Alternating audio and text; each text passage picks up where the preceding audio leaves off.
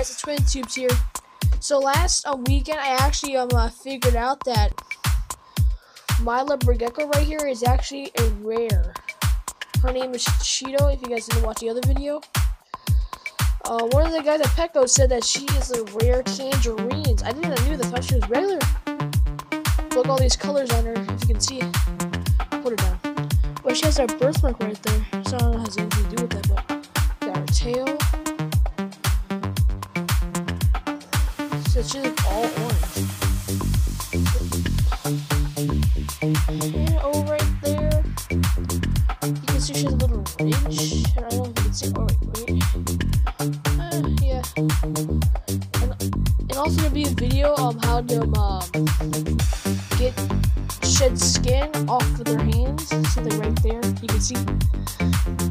But this is the end of the